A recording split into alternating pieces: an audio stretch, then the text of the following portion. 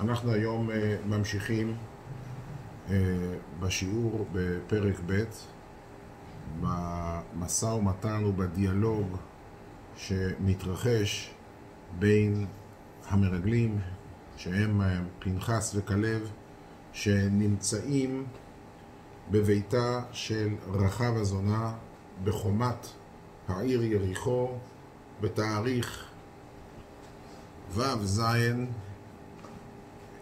תלוי לשיטת רש"י או לשיטת הגאון, בשנת בית אלפים אה, תפ"ח לבריאת העולם, כשלושה ימים טרם חציית הירדן על ידי בני ישראל בכניסתם לארץ. אה, אנחנו עכשיו אוחזים פסוק י"ב, אני רוצה לקרוא שלושה פסוקים יחדיו ולפרש אותם.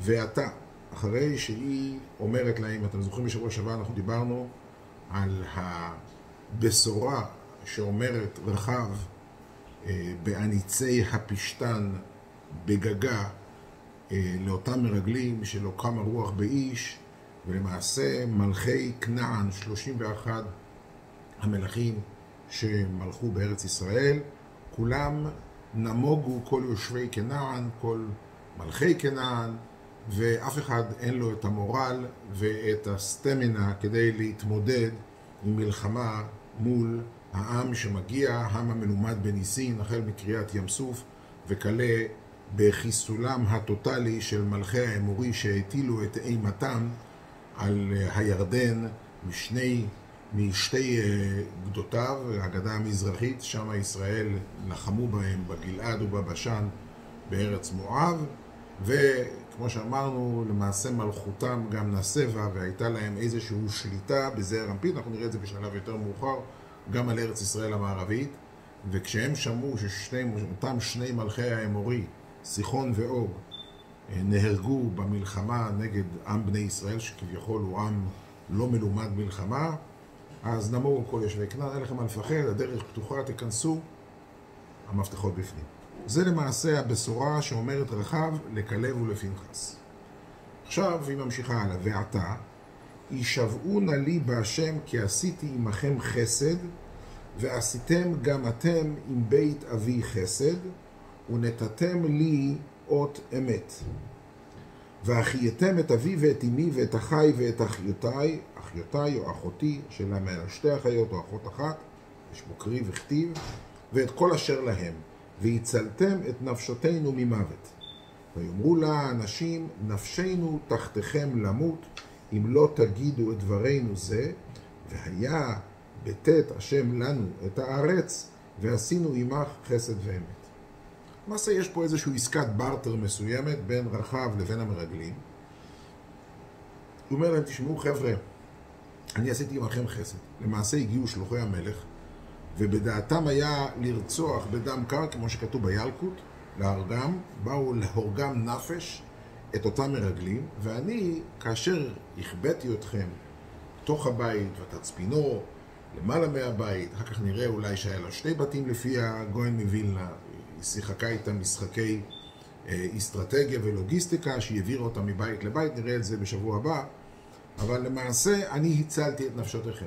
ובדין, מן הדין ומן החסד ומן השורה, שאני צריכה לקבל תמורה בעד האגרה, מה שאני נתתי לכם, מגיע לי בגין זה תשלום של חסד. עכשיו היא יודעת, היא יודעת שלמעשה בני ישראל הולכים לכבוש.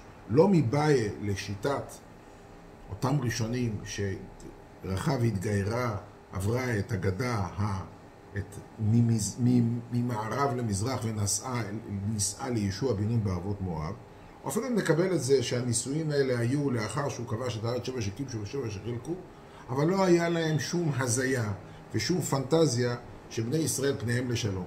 בתורה כתוב לא תחיה כל נשמה, ועוד מעט נראה שישוע שולח להם כל מיני איגרות למלכי ארץ ישראל אה, כדי שהם אה, ייכנעו ללא קרב, שיניפו דגל לבן.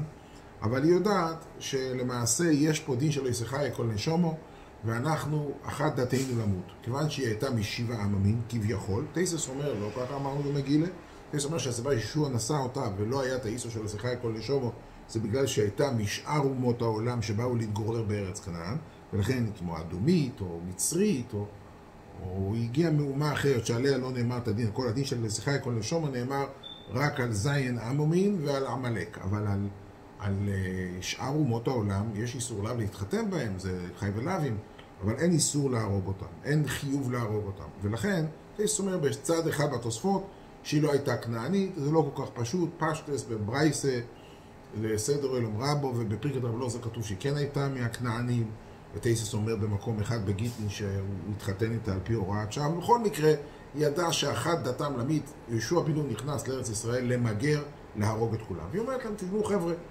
תתפתות עשינו עסקה, בואו נעשה עסקת חליפין, בארטר מאוד לוגיסטית יישבעו לי, אני רוצה שבועה כי יציתי עמכם חסד, ועשיתם גם עתי עם בית אבי חסד, נותתם להיות אמת. אני הצלתי אתכם.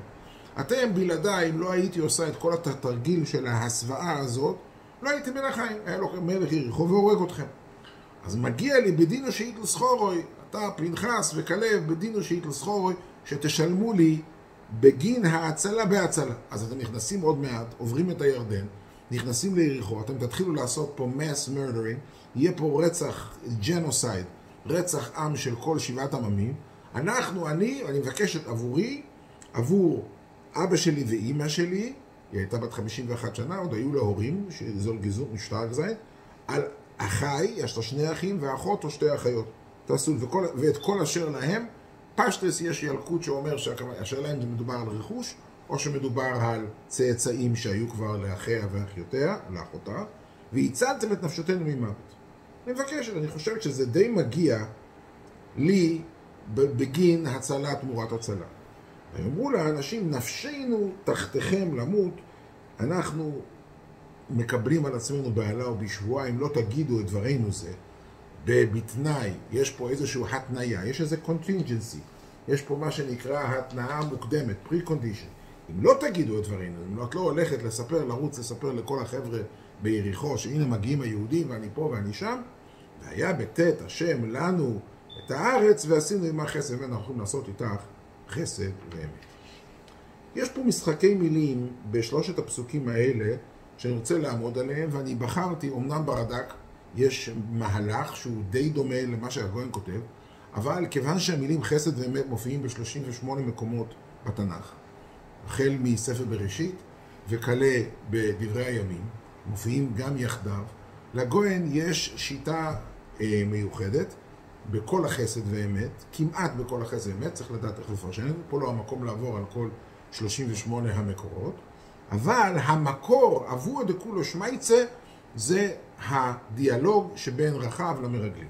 אז היא אומרת ככה, ועתה יישבו אל השם כי עשיתי עמכם חסד. אני עשיתי איתכם חסד. ועשיתם גם עם בית אבי חסד. זאת אומרת, אני עשיתי איתכם חסד, אני מבקשת שתעשו עם בית אבי חסד. ונתתם לי אות אמת. זאת אומרת ככה, אתם קיבלתם חסד, אני מבקשת בחזרה לתת לבית אבי חסד, לא לי, לבית אבי, ונתתם לי, עבורי, אני רוצה אות אמת. כן? והחייתם את אבי ואת רבי ואת כולם, ויאמרו לאנשים, ועשינו עמך, הפאנץ' ליין הוא, והיה בתת השם לנו את הארץ, ועשינו עמך חסד ואמת, אנחנו ניתן לך גם את החסד וגם את האמת. אומר הגויין, ואני מצטט מי שיש לו פה גויין, אומר הגויין, פירוש, כי מה שאדם עושה לחברו טובה מחדש, הוא הנקרא חסד. ומה שאדם משלם טובה לחברו על שעשה עמו מכבר טובה, נקרא אמת. אומר הגויין, ההבדל בין חסד לאמת, חסד זה דבר שאדם עושה טובה חדשה לרעהו. אני לא מכיר אותך משום מקום. הוא פוגש בן אדם ברחוב, יש לו פאנצ'ר בגלגל, אני הולך לתקן לו את הפאנצ'ר. לא מכיר אותו משום מקום. הוא רואה בן אדם יהודי שעומד בצד הדרך וצריך לעזור לו, זה חסד. ומה שאדם משלם טובה לחברו על מזה שעשה לו טובה, הוא הנקרא אמת. אני תמיד אוהב לספר את הסיפור שהרב מבריסק, צעיר בניו, רב מאיר סולובייצ'יק, בשנת תשי"ט, התארס עם בתו של אה, יהודי בשם בנדיקט מבני ברק, היה יהודי עמיד, ורב מאיר היה בחור אה, כחוש ודל, והרב מבריסק היה בקיץ, באותו קיץ היה בקרניץ, לשוויץ, ומאיר לא נסע איתו, היה בחור, הוא היה כזה רזה, ולקראת החתונה שלו, אז הוא, אה, השוור שלו ראה אותו, אמר לו, תשמע, אבא נמצא עכשיו חודשיים, חודש וחצי, שבעה שבועות, הבסקוב ישב בשוויץ, אני רוצה לשלוח אותך קצת להבראה. הוא שלח אותו לבני ברק, למלון וגשל, היה פאר המלונות, שישה כוכבים, אה, והוא ישב שם כמה שבועות, והוא אכל שם, זה היה פלז אחרי קשרס, סמכו על הכשרות ואכלו, הוא שמן קצת ונפש קצת, חזר הביתה, אברהם מבריסק חזר ושאל אותו, מאיר, ועושה גיבור מדיר, מה קרה לך? אני רואה אותך, אתה נראה כזה בריא וחסון ושמן. אז הוא מספר לו שבהיעדרך השוור ביקש שאני אלך שבועיים, הלכתי וישבתי שם על דאצ'ה. אז הוא אומר לו, ועוד בצורת, מי שילם? אז הוא אומר, מה זאת אומרת מי שילם? אני... הרב בריסק יודע שאין לי, אני, אין לנו פרוטה לפורטה, אז ברור שהשוור שילם מהשוור. אז הוא אומר, גיא גיפינויס ויפל גלטות גיקוסטן דאצ'ה. תברר כמה זה עלה, ואני רוצה לשלם תווים ותקילים. הוא לא השוור שלך עדיין. היה מילה שאתה תתחתן איתה, הוא לא השוור שלך. הוא לא חייב לך שום דבר. הוא זולס תביסנייך מיינקין, דע לך בני. ונאמן שטות המנש הטויבה, כשיהודי עושה טובה לחברו, ארמוזם צוריק בצון. הוא חייב לשלם לו בתמורה חזרה. ודביליקסטה וגצו צובצון איז מתגלט. והדרך הזולה ביותר לשלם תמורת החסד זה עם כסף. לימוד של הרב מבריסק, אפשר לקחת את הסיפור הזה להרבה מקומות, אבל מה שהגויין אומר, כי אדם שעושה לחברו טובה מחדש הוא נקרא חסד. ומה שאדם משלם טובה לחברו על שעשה עמו מכבר טובה, נקרא אמס. כי הוא מחויב לעשות לו את זה. עשית לי טובה, אני חייב לשלם לך בחזרה. והוא שאמרו חז"ל, מביא מדרש רבו בברישיס, בפרק ל"ח. האוכל, אל יאכיל אותו גם עדשים. כתוב שאם מישהו הלך, היה רעב, הוא בא למישהו אחר, הוא נתן לו לאכול, נתן לו מרק עדשים, עדשים זה מאכל זול. אז כתוב שאם מישהו האכיל אותך עדשים ואתה מזמין אותו חזרה לביתך, אל תאכיל אותו עדשים. כי זה שהאכיל איתך תחילה עשה עמו חסד. מי שהאכיל אותך, הרי כשהוא התחיל את המשחק, את מערכת היחסים, את הדיאלוג ביניכם, הוא עשה חסד, כי הוא לא היה חייב לך שום דבר. הוא הזמין אותך אליך, אליו לביתו ואכלת מרק עדשים. אבל השני, אם יאכיל אותו גם כן עדשים, הרי לא, עדיין לא עשה לו כלום בעד החסד שעשה לו. ברגע שאתה משלם לו חזרה את אותם עדשים, אז חסר פה את החסד. אני אספר עוד סיפור קוריוז, מעניין, אולי קצת חריף, של רב חיים בריסקר בילדותו בגיל שלוש, החבר שלו, רב זלמן סנדר, בא בוכה לבייס הלוי, והיו שני ילדים בחדר בני שלוש, גילויים שניהם, והוא אמר, חיים כמרים מפת, נתן לי סטירת לחם. שאל אותו, תקרא לחיים, חיים, כן, נתת לו מכה? הוא אומר, כן, נתת לו סטירה. למה? מה זאת אומרת למה? הוא נתן לי סטירת לחי, החזרתי לו. הוא אומר, זלמסן, זה נכון שאתה התחלת, נתת לו סטירת לחי? הוא אומר, כן, אז מה אתה בוכה? הוא אומר, נתתי לו סטירה אחת, הוא החזיר לי שתיים. שאל אותו, למה מגיע לו שתיים? הוא אומר, תראה, מגיע לו שתיים. קודם כל נתן לי סטירה, מגיע לו סטירה מעיקר הדין, כולם לא יפליל. שנית, הוא נתן לי סטירה אומזיסט. הוא נתן לי סטירה ללא כל שום סיבה. את זה כשאני משלם לו, לא נתתי לו. אני, כשאני, ככה הוא אמר לו, אני צריך לתת לו עוד פאץ' אחד אומזיסט ללא כל סיבה. המוטו שבדברים, אומר הגויין, כשאדם מאכיל אותך מרק עדשים ואתה משלם לו חזרה עדשים, לא עשית לו שום דבר, כי אתה חייב להאכיל אותו. השני, אומר הגויין, אני מצטט, אם יאכיל אותו גם כן עדשים, הרי לא עשה לו כלום בעד החסד שעשה עמו. אלא רק ששילם לו מה שהיה חייב לו. אלא שהוא צריך להאכילו מאכל היותר יותר. כתוב, והאכילך עדשים, תאכילנו פטומות.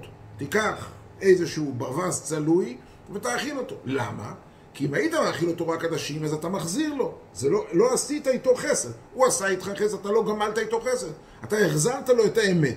הוא נתן לך ארמוז צוריק בצום, חייבים לשלם חזרה. עכשיו, אתה רוצה להיות כמוהו גם כן תשלום על החסד, תן לו משהו שהוא מעבר לתשלום שמתחייב בגין החסד שהוא עתה איתך. אז ההפרש, ה-overage, המותר, מעבר לקטע של עדשים תמורת עדשים, קרי, עדשים עולה שלושה שקלים וכתומות עולה שלושים שקלים, אותם עשרים ושבעה שקלים זה כבר חסד. כי פה נתתי לך מעבר למה שמצטרך. ואותו המותר אומר, אלא שהוא צורך להכיל לו מאכל היועזר טוב, אני מצטט את הגויין. ואותו המותר יהיה חסד גם כן. כאן כבר יש כורטוב של חסד. כי את החלק שאני משלם לך חזרה זה זה אמת, זה לא חסד. אין פה שום חסד, לא עשית חסד. האכיל אותי, אני מאכיל אותו. זה אמס, זה לא חסד, אומר הגוי. וזהו שנאמר, תיתן אמת ליעקב, חסד לאברום. יש פסוק, אנחנו מכירים את הפסוק הזה מהתפילה, את הפסוק הזה גם אומרים אותו בתשליך. פסוק בספר מיכה. תיתן אמת ליעקב, חסד לאברום. פיוש, אומר הגואל. כי מה שהבטיח לאברהם היה חסד, כי היא טובה חדשה. כשהקדוש ברוך הוא בא ונתן את ההבטחה הראשונית לאברהם שהיה אביהם של האבות, הוא היה ראשון לאבות, אז ההבטחה שלו היא בבחינת חסד. אבל אצל ינקב הוא אמס, ששילם לו מה שהבטיח כבר לאברום. כשהוא בא ליעקב, עד כמה שיש פה הבטחה, כתוב בגואל, אז היום כבר שהוא נותן ליעקב, הוא לא נותן לו בבחינת. עכשיו זה מגיע. ההבטחה של הקודש ברוך הוא יוצרת חוב. אז אם נותן ליעקב, אה, מה שהוא נותן ליעקב עכשיו, הוא חייב לו לא מדין חסד. הוא לא עושה לו חסד חדש. כי עד כמה שהקדוש ברוך הוא הבטיח לאברום עבור זרעו, אז כשיעקב מקבל את זה, הוא לא מקבל את זה מת... בתורת חסד, הוא מקבל את זה בתורת אמת, ברגע שהייתה פה הבטחה. וזהו שנאמר כאן, אני עשיתי עמכם חסד שהחייתי אתכם. על כן תעשו עמדי גם כן חסד. ומהו החסד? שתחיו את בית אבי. כי מה שתחיו אותי אינו רק אמת. וזהו נתתם לי אות אמת. בואו נקרא עכשיו את הפסוק קילורין לעיניים לפי הגויים. עתה ישבו לי בהשם כי עשיתי עמכם חסד. אני כשהצלתי אתכם, כשבאתם לבית שלי, אני לא קראתי לכם, לא הזמנתי אתכם, הייתם אורחים בלתי קרואים, דפקתם על דלתותיי וסיפרתם לי את מהות השליחות, באותו רגע כבר השב"כ של יריחו העלה לכם על עקבותיכם ובא להרוג אתכם. אז מה שאני עשיתי, חייתי אתכם, זה היה חסד. לא, לא מכירים אותם משום מקום, זה היה חסד. ומה החסד? שתחיו את בית אבי. מעבר, מה שאתם תצילו אותי, ההצלה שלי היא בגדר אמת, ונתתם לי אות אמת. כלפיי זה אויס אמס, זה לא חסד. למה? כי אתם, מכורח זה שאתם מחיים את נפשי, אני חייתי את נפשכם, אתם צריכים את הגמול הזה להחזיר לי בחזרה עדשים תמורת עדשים. איפה הפטומות? איפה האוברג'? איפה המותר? המותר זה שתחיו את בית אבי. אז עוד פעם, ועתה ישבו לי בהשם כי עשיתי עמכם חסד ועשיתם גם אתם עם בית אבי חסד, אומר הגויין. ביחס להורים שלי הם לא חלק מהסיפור. הם כבר טרמפיסטים שלא שייכים לסיפור.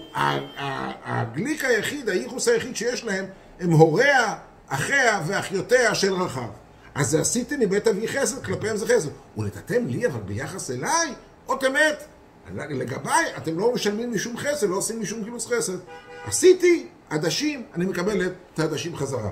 ועל זה אומרים להם, והיה בטאת השם לנו עם הארץ, ועשיתי עמכם חסד, ועשינו עמה חסד ואמת, אומר הגויין, בפסוק י"ד, ועשינו עמה חסד ואמת, אני מצטט, כי חסד שנחיה את בית אביך, ואמת במה שנחיה אותך. אז הדברים האלה הם, זה וורט של הגויין, שנשזר מאוד מאוד יפה, אפשר, האפליקציות של הוורט הזה, רבים הנה לאורך כל התנ"ך, הלוך וחזור. אני רוצה להוסיף פה שתי הוספות קטנות על הגויין, ואני חושב שאולי זה בגדר של אמת.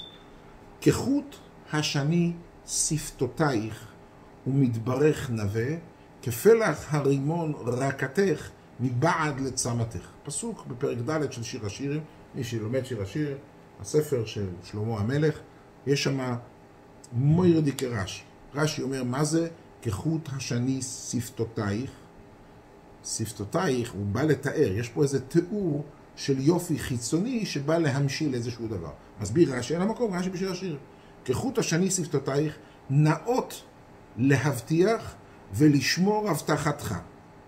כמו שעשו המרגלים לרחב הזונה, שאמרו לה את תקוות חוט השני וגומר ושמרו הבטחתה.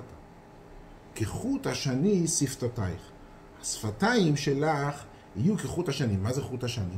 זה לא איזשהו אה, יופי חיצוני שבא אה, לבוא כחוט שני, חוט אדום שהוא חוט יפה, כל מיני מסבירים, חוט שני, עין הרע, סיפורים, עניינים.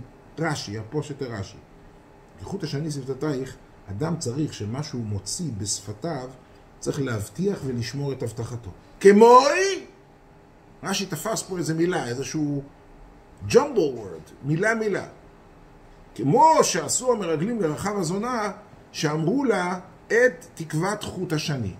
אז כחוט השני שפתותייך, אתם תשמרו, אדם, אנא שמור, אנחנו, זה כנסת ישראל מדבר אל הקודש ברוך הוא ואומר, אני מבקש, אנחנו מבקשים ממך הקודש ברוך הוא כחוט השני, כאותו תקוות חוט שני, שסימלו את אותה התקווה של החוט ההצלה שהצילה את רחב ובני ביתה, ושמרו הבטחתם, ככה גם נאות להבטיח ולשמור הבטחתך. כך אומרים בני ישראל. זה שבח שהמרגלים שומרים את, עומדים בדיבורם ו- ושומרים הבטחתם, זה שבח. חוט השוני, אנחנו באים פה לשבח פה את אותם המרגלים ששמרו על דבריהם. האם הם לא היו עושים? כי הם היו שקרנים, היו גנבים. היא הצילה אותם, היא, היא הצילה אותם בשעת הסקונה. אני חושב שהפשט הוא כזה, אני, אני, אני רוצה לומר שהפשט הוא כזה. בגויין לומדים מויר דקזך, שנכון, אם מסתכלים בגויין, ההסתכלות על הגויין היא שטחית, אבל אם אנחנו מסתכלים, צוללים במילותיו של הגויין, אנחנו לומדים משהו חדש. ביחס לבני המשפחה זה חסד, כי הרי זה לא תשלום עבור טובה. אבל אחרי שהוא מבטיח, שאותם מרגלים מבטיחים לרחב שיצילו גם את בני ביתה, באותו רגע נהפך אותו חסד, שמתחילתו הוא חסד, כי הוא לא תמורת איזה משהו, הוא לא חייב שום דבר להורים שלה, אבל ברגע שהוא, הם מבטיחים את ההבטחה שאנחנו נחיה גם את בית הורייך, זה נהפך לאמת. איך אני יודע שזה נכון? היום זה נעשה לאמת כי היום יש להם חובה לקיים את ההבטחה שלהם מצד ההבטחה עצמה. אז היום, נכון, אם אנחנו באים לדון, אם לא היו, אם לא היו מבטיחים, לו היה סיפור שהם לא היו מבטיחים, והם היו מצילים את רחב, ואחר כך היו באים מצילים את ההורים שלהם בתור ג'סטה. אז ביחס לרחב זה היה באמת אמת, וביחס אליהם זה היה חסד. אבל, ולכן ההטבה עצמה, הבקשה להטבה היא בקשה שבאה מצד רחב, ועשית חסד אמת, הבקשה היא בקשה לעשיית חסד ביחס להוריה, ביחס לאחיה ואחיותיה לבית אביה. אבל ברגע שקיימת פה ההבטחה, באותו רגע חוזר הדבר להיות בגדר של אמת. איך אני יודע שאני צודק? כי הגויין אומר, וזהו שאומר הכוסף תיתן אמת ליעקב חסד לאברהם, אני מצטט, כי ההבטחה שהייתה לאברהם היה חסד, אבל ליעקב הוא אמת, שמאמת הבטחתו שאמר לאברהם. אז נכון, ביחס להוריה זה חסד, כי אין, הבקשה היא בקשת חסד.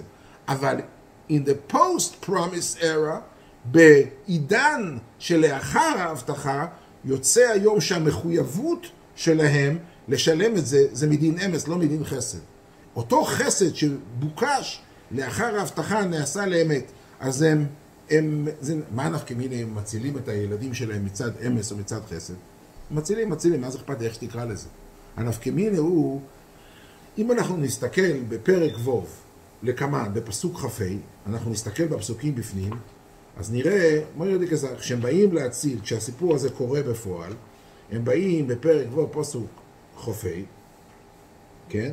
כתוב, ואת רחב הזונה ואת בית אביה ואת כל אשר לה החיה יהושע. ותשב בקרב ישראל עד היום הזה. מה זה החיה יהושע? אומר הרד"ק, פשוט, החיה יהושע, והרד"ק הזה אומר, וזה הפירוש הנוכן. מה פירוש החיה יהושע? החיה יהושע הוא אומר, אני מצטט, יש לפרש החיה שנתן להם מחיה, ממון או נחלה במה שיחיו. וזהו הפירוש הנכון. זאת אומרת שמעבר להצלת הנפשות, ישוע נתן לבני ביתה גם כן פטומות. מעבר להצלת הנפשות, שהיא חסד, נתן להם פה עוד יותר. הוא העלה, הם העלו את הרף. ההצלה לא נגמרה בזה שאומרים, אוקיי, הצלנו לכם, לכו תברחו, תחפשו כסף במחנות העקורים, כמו שעשו אחרי שיצאו ממחנות ההשמדה. היום יהושע דואג להם לממון, מחיה או נחלה. הוא מנחיל אותם, נותן להם. יהושע והמרגלים עומדים בשבועה, כן? עומדים בשבועה. החיה יהושע, כדי לשמור את השבועה, אומר, אומר הרד"ק, אני לא קראתי את התחילה, שציווה לשמור לה השבועה שנשבעו לה המלאכים, החיה אותם שנתן להם מחיה, ממון או נחלה במה שיחיו. אז זאת אומרת, ההבדל בין זה שזה נהפך לאמת אחרי ההבטחה לבין זה שזה היה חסד טרם ההבטחה, כי עד כמה שזה היה נשאר חסד, אז אין להם, משלמים עדשים תמורת עדשים. אין פה עניין לשלם יותר. ברגע שיש פה הבטחה, תיתן אמס ליאנקים, אומר הגויין, שההבטחה היא גורמת לכך שהיום זה כבר נעשה לאיזושהי חובה מסוימת מחמת ההבטחה עצמה, אז יש פה אמס. אם זה אמס, אתה לא יוצא ידי חובתך בהצלת הנפש. אם זה אמס, אתה צריך להוסיף פה איזשהו שמק טבק. צריך שמחיים אותם, לתת להם ממון, לתת להם מזון, לתת להם פרנסה, לתת להם נחלה. אני חושב שהדברים האלה הם, והרד"ק אומר, וזה הפירוש הנוכוין, שהם הוסיפו, הוסיפו על הבטחת ההצלה שהייתה רק להציל. היא אומרת, תצילו, היא לא מבקשת פרנוס, היא לא מבקשת נחלה. נותנים להם מחיה, ממון או נחלה, כי האמת הזאת נהפכת לאמת צרופה. למעשה, יש אה, פסוק במשלי, אנחנו רואים אותו בליל שבת, באיש אסחי לאימצו, לא תירא לביתה משל לכול, כי כל ביתה לבוש שנים. מה זה כל זה לבוש שנים? אז יש מדרש, המדרש מאוד מעניין. המדרש לוקח את כל האיש אסחייל הזה ועובר על ההיסטוריה של כל הדורות. כל אחד מתייחס לדור אחר. על הפסוק, לא הסירו לביסו משולג, כתוב במדרש, ואני מצטט, זו רחב, בשעה שבאו ישראל להחריב את יריחו, לא נתייראה, מפני שנתנו לה סימן את תקוות חוט השני. לא תרע לביתה משלג, לא, היא לא פחדה, כי כל ביתה לבוש שנים, התקוות חוש השני הצילה אותה. אני רק חושב להוסיף אולי, ברמב"ן הרי כתוב שבכל מקום, אה, כשיש אמון אז אין, אין פחד. יש היום שיר, אם יש אמונה אין פחד. למעשה זה מילותיו של הרמב"ן, שאין לו להסיור משום דבר שבעולם. אדם לא צריך להתיירא משום דבר שבעולם, יש לו אמונה. ואמונה ואמת, כתוב בגויין, הם קורצו משורש אחד. האמת ואמונה זה אותו, זה אמן. אמן אומר הגויין זה אמס ואמונה. לא תירא לביתה משלג, זה הולך על רחב, כתוב במדרש. למה? כיוון שהיא האמינה בהבטחה באמס, שלמעשה היום זה הבטחה של אמת, כי כל ביתה לבוש שנים. לא רק היא עצמה, כל ביתה, הדגש פה על המילה כל, כל הבית שלה, כל אנשי ביתה לבוש שנים, התקוות חוט השני, אותה הבטחה היא הבטחה של אמת, לא רק ביחס אליה שזה אמת, כי משלמים לה את התמורה, תמורת החסד, אלא בעידן לאחר ההבטחה, גם לגבי ההורים של האחים שלה, בית אחי ואחיותיי, כי כל ביתה לבוש שנים. אנחנו נתקדם הלאה. יש פה עוד איזושהי הערה אחת שאני רוצה לעמוד לפני שמתקדמים הלאה. כתוב, ועתה יישבעו לי בהשם. אחרי שהיא אומרת את הדרשת שבת הגדול, ועתה יישבעו, יישבעו לי בהשם כי עשיתי בכם. מה זה המילה ועתה? המילה ועתה, הגויין אומר שכל פעם שכתוב בתנ"ך את המילה ועתה, יש קשר לפסוק הקודם. ועתה, ועתה, ועתה, הכוונה היא עכשיו, therefore, ולכן, ועתה זה הכוונה ולכן. יש קשר בין הפסוקים הקודמים לזה. למעשה, אם אנחנו חושבים על זה, רחב שידעה, הכירה את לב העם, ואומרת להם שיש פה פחד, ידעה את הלך הרוח של השרים, של הנגידים, של המלכים ששלטו בארץ ישראל, אז היא למעשה, אין להם מה לפחד ממלחמה, אין לכלל ישראל מה לפחד, הם יכולים להיכנס. אז יוצא שלמעשה היא המידע, אם, לא, אם לא היה ישוע לא שולח את המרגלים השליחים, הם לא עשו לה פה שום טובה, יש להם מידע שהמורל פה ירוד ואפשר לעשות פנטרציה וחדירה, להיכנס ליריחו ולכבוש את ארץ ישראל ללא שום... אה, אז מה היא עשתה להם? למעשה, הם, אין, אין להם מה לפחד ממלחמה. יש להם מידע שה... לא שהיא נדבה להם שום דבר חדש. הסיבה שהיא מבקשת את החסד, זה לא בגלל שהם הגשימו היא הגשימה להם, היא נתנה להם פה איזה סודות צבאיים, אמרה להם, שמעו, תכנסו ממזרח למערב, שם אין להם שומרים, שם יש פחות צבא וכולי. מספרת להם, המורל ירוד, המפתחות בפנים, תיכנסו בפנימה. אז למעשה, מה שהיא מבקשת חסד, היא לא אומרת מילה אחת בגלל שאמרת, נתתי לכם את המידע. ועתה עשיתי עמכם חסד, אני מבקשת על זה שהצלתי אתכם משלוחי המלך. יש פה שליחות, השליחות למעשה מתגלית כבלתי נחוצה, במהלך השליחות יש פה חשיפה לאיזושהי סכנה, שבגינה רחב מצילה אותה, מבקשת תמורת זה להציל את נפשותה, נפשה ונפשות בני ביתה. והיא מבקשת באופן אישי, ועשיתם גם אתם. מה קורה? נגיד ככה, יש סוגיה הגמור בנדורים בדף אה, ס"ה. כתוב בגמרא שאם אחד מודר הנאה מחברו, אין מתירים לו אלו בפניו. מישהו אמר, שאלה מחלוקת בראשון, שלוש שיטות, מה זה מודר הנאה מחברו, אבל בכל אופן, מישהו שעושה שבועה ביחס למערכת היחסים בינו לבין חברו. אני לא אקבל ממנו הנאה, אני לא אעשה משהו שבינו לחברו, זה נקרא מודר הנאה לך, נכנס תחת הכותרת. אז אם היחס של השבועה, של הנדר, הוא ביחס לחברו, כשהוא בא להתיר את הנדר, הוא חייב להתיר אותו אלא בפועל. בנו הנמי, לעומר רב נחמן דכסיב, ויאמר השם למשה במדיין לך שוב מצרים כי מתו כל האנשים. עומר לי במדיון נודרתו, לך והתר נדרכה במרים. אומר רש"י, נדרת לפני יתרו, לך והתר בפני יתרו שאין מתירים לו לאדם אלא בפניו. ויתרו ידירו למשה שלא לשוב למצרים מפני אותם האנשים המבקשים להורגו. אנחנו יודעים שמשה בא להתחתן עם ציפורה, הבת של יתרו, אז יתרו השביע אותו, הוא פחד, אומר, קחו את העדים שלי למצרים, כי משה סיפר לו שיש אנשים שמבקשים את נפשו, אז הוא אומר, אני רוצה ממך שבועה.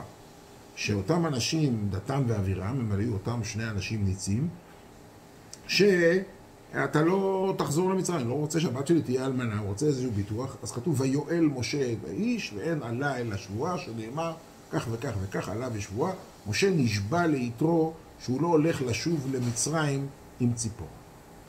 עכשיו, הקדוש ברוך הוא מתגלה למשה שנעשה רועה צאן חותנו, הוא אומר לו, לך שוב מצרימה, כי מתו כל האנשים המבקשים את נפשך. מי זה אותם אנשים שמתו?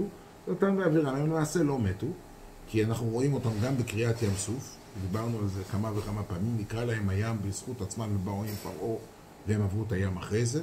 אנחנו רואים אותם שהם השאירו מהמן, כשירד להם המן, שהם השאירו אה, וירום תולעים ואיבה, שהם היו שם, ואחר כך אנחנו רואים אותם אה, במחלוקתו של אה, קורח ועדתו, אז הם לא מתים. אז מה שהקדוש ברוך הוא אומר להם שהם מתים, אומרת הגמורה בנדורים, בתחילת נדורים, שהם היו חשובים כמת, כי הם ירדו מנכסיהם, הם היו עשירים והם איבדו את כל נכסיהם, ועוני חושב כמס, אבל על כל פנים, ברגע שהם כבר נאבד להם, בטלה המאה, בטלה הדעה, ואין להם כוח להרע למשה רבינו, הקדוש ברוך אומר לו, תשמע, המעמד שלהם ירד, הם לא יכולים להרע לך, לך תחזור למצרים. אבל, כיוון שמודר ענו מחברו, הם מתיר לאלו בפרונו, מילא אתה חייב ללכת ולהתיר את הנדר בפניו. מעניין מאוד, אני, מותר לי לספר סיפור.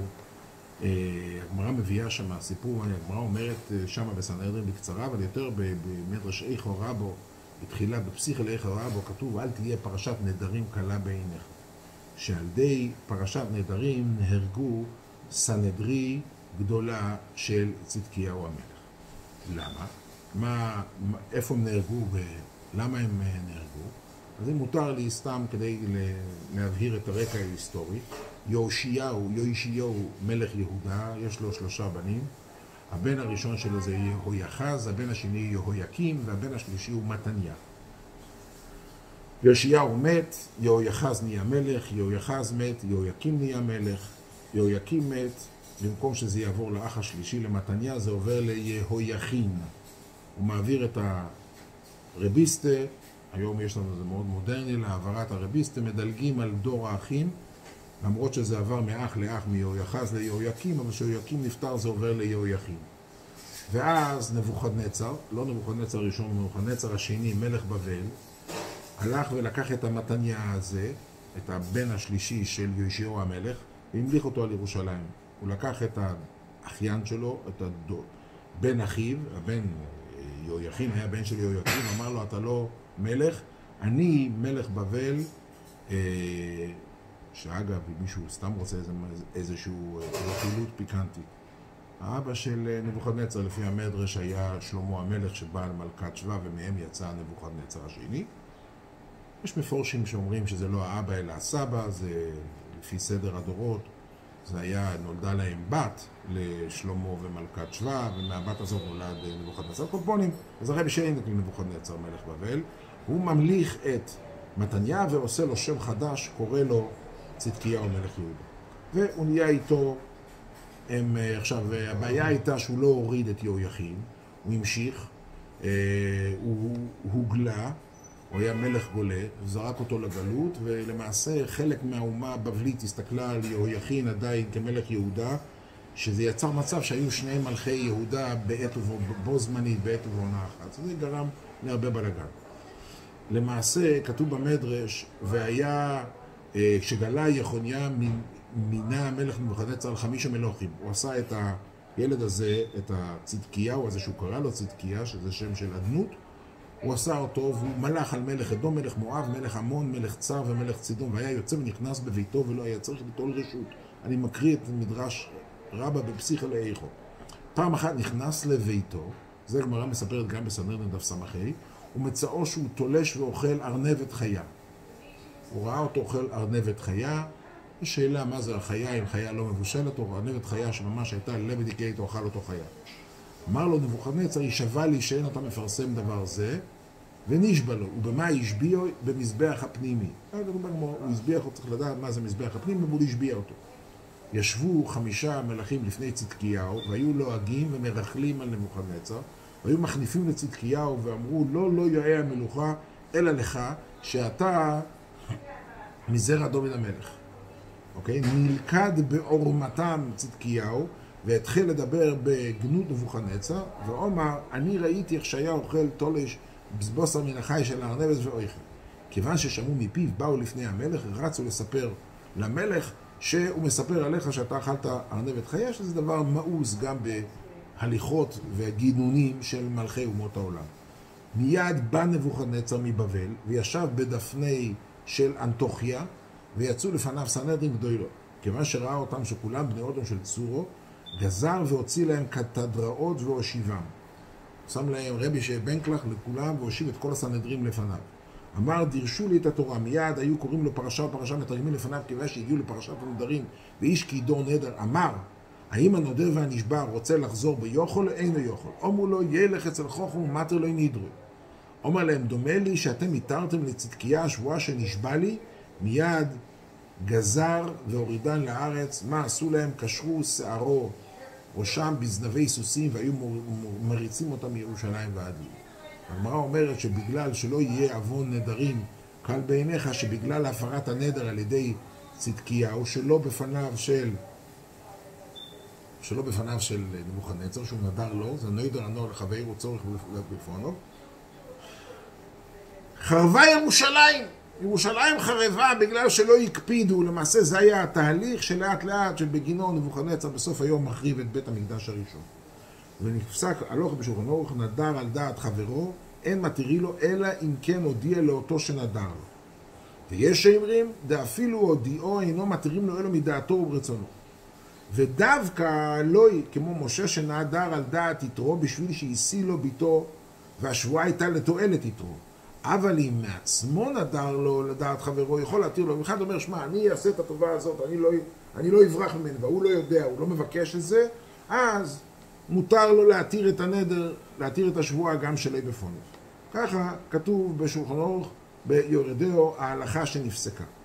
יש תשובה של הריבוש, הריבוש אומר, ואני מצטט, כל מקום שהנשבע קיבל טובה מן המשביע, אף על פי שהמשביע קיבל יותר טובה ממנו, אפילו אוכי מקרי הטבה, שהרי יתרו קיבל יותר טובה ממשה, שנשא את ביתו, ואפילו אוכי מקרי הטבה. אומר הריבוש, שלמרות שאני עושה לך טובה, אתה עושה לי טובה, והטובה שאתה עושה לי בכריתת הברית הזאת, היא הרבה הרבה יותר גדולה מהטובה שאני עושה לך, זה נקרא הטבה. זאת אומרת שיש ספק, זה לא פשוט, זה מחלוקת גדולה בפוסקים, מה קורה אם הטובה שבגללה נשבע לחברו היא לא טובה גדולה, היא טובה קטנה, או שהיא יותר קטנה מהטובה שהנשבע עושה למשביע, אם הוא חייב להפר אותו לפניו או לא לפניו. רחב אומרת, למעשה, אם היינו חושבים, היא אומרת, ואתה יישבעו לי. היה מקום לחשוב שתמורת הטובה שעשתה בהצלת השליחות, בהצלחת השליחות לא מגיעה לה טובה כזו גדולה שינצלו חייה וחיי בני משפחתה. כי למעשה, אחרי הכל, מגלוי מילסה שאין פה כלום, זה ההר שהוליד עכבר. כל, היינו יכולים לנצח את המלחמה בקלות ללא כל סיוע. אז למעשה, הטובה ביחס לשליחות היא אפסית, וייתכן מינימלית שלא מחייבת את התרת השבועה בפניה של רחב. אבל, אם זה הכל מה שאנחנו באים לדון על הצלחת השליחות בתורת שליחות.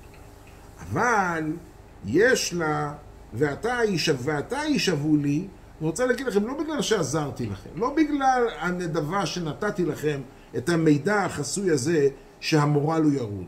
ועתה יישבעו לי, אלא בגלל שאני הצלתי אתכם משלוחי המלך. והצלתם גם אתם את נפשתנו ממוות על הטובה הגדולה של הצלת חיים. ולכן היא מסנדלת אותם. אומרים לי, יישבעו לי, היא ידעה את הטריק, היא ידעה ששבועה זה דבר שהוא וירטואלי, דבר שהוא רוחני. והם יכולים באיזשהו מקום לחזור לארץ ישראל ולהפר את השבועה ולבוא ולעשות עליהם ולרצוח אותם ואת בני משפחתה גם כן. אבל כיוון שאני בא ואתה, נכון, מה שדיברנו אתמול ולקום ברוח באיש, סקלי נטויבו, כי למעשה יגלוי מליסה שלא הייתה פה טובה בכלל.